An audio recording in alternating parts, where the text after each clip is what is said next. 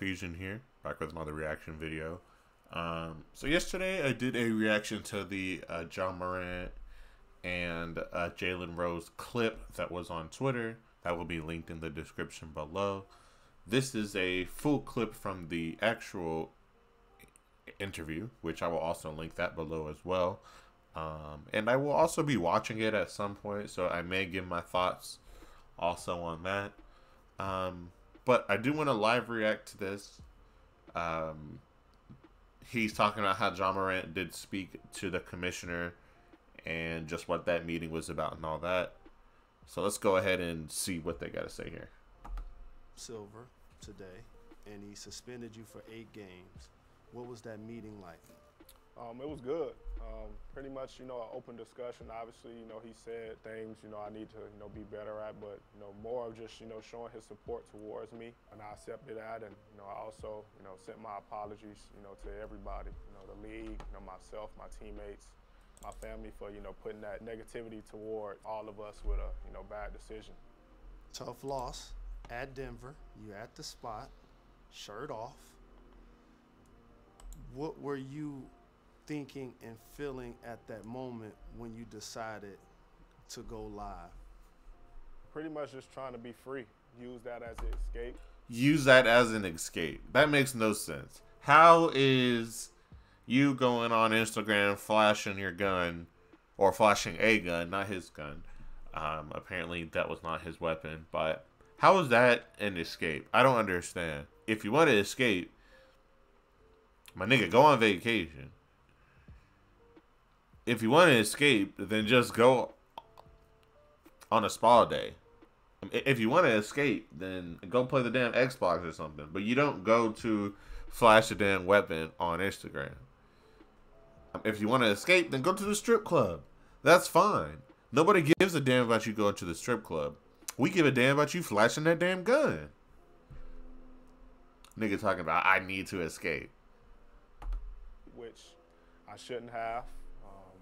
I feel like that's the reason, you know, I made many, you know, bad decisions, you know, in my past, um, which doesn't describe Ja as a person. You know, I'm a totally different person, you know, than what's been shown, you know, in the media. For you at that moment, what were you thinking and whose gun were you holding? I was, felt like, you know. I don't like these questions. Um, I feel like these questions are sort of self-incriminating and incriminating, excuse me, um, asking him whose weapon was it or was that actually your weapon. Uh, he's been in trouble, so I don't know if the police are off his back yet, but I don't think I would be asking them questions. Also, I wouldn't be trying to go on no damn press tour either. I feel like this is sort of corny. You know, I was releasing stress, and I felt like it was healthy for me and which it wasn't, and that caused me to do some things that you know I shouldn't have. You know, the gun wasn't mine. You know, I, it's not who I am. I don't condone you know, any type of violence, um, but I take you know full responsibility you know for my actions, and I can see uh, the image you know that I, I painted you know over myself you know with my recent mistakes, but you know in the future. Um, I'm gonna show everybody who Ja really is was the incident allegedly after the Pacers game. And somebody was allegedly pointing a red dot at some of their personnel. Can you shed light on what happened after that game? Majority of the things, you know, that's happened in the past, obviously, you know, I kind of put myself into um, by even being there. You know, the NBA investigated, you know, everything thoroughly and, you know, found no evidence of uh, anything. And another incident that so they found no evidence, which is fine, which is good. Hopefully that's the case. Uh, hopefully Morant doesn't surround himself with those type of people. Uh, and by that I mean uh, people who will ruin his image, doing dumb shit uh, like that. Of course, you know, let's hope that that isn't the case, but I just hope that he's he's he's good, man, because he seems like a good guy. Uh, he's a great basketball player. He's fun to watch. Um, so I just don't understand. I don't understand.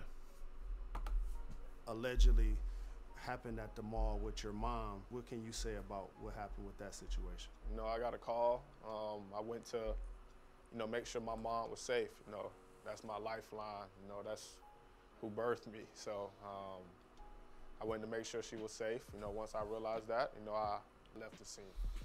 And then there's a situation that potentially happened with your sister surrounding a volleyball game. Can you shed some light into what took place in that scenario? That's my baby sister. You know, I received a call and, you know, was checking on her safety. Um, another situation where, you know, once I found out she was safe, you know, I left the scene. Obviously, I realized Josh showed up and, you know, that's all everybody, you know, really needed to, you know, paint whatever, you know, picture they want. And um, I realize now that's a problem. And, you know, I put myself in, you know, those situations. What were you doing these last 10 days and what did it teach you about yourself? Just learning, you know, I can open up. I can express my feelings and that it's, you know, okay to be able to express your feelings. So, you know, I was constantly, you know, talking to therapists. I've been doing, you know, Reiki treatment. Um, I've been doing anxiety breathing, you know, different stuff to, you know, help me manage that and release, you know, all that stuff from my body. What has it been like for you to see people criticize your inner? I'm gonna be honest, bro. This looks so staged. It's so boring. I wish they would have got Charles Barkley. I wish they would have got EJ. I wish they would have got anyone else to interview him because I don't like how these questions are being asked, and I feel like there should be more. It sounds like he just gave him a damn report. You know, be like, so what happened here?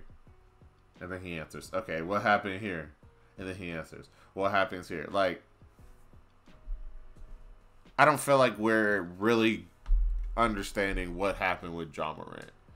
You know, it sounds like he's been going through some things. It sounds like that he has some anxiety issues or like whatever. Why not ask him about that?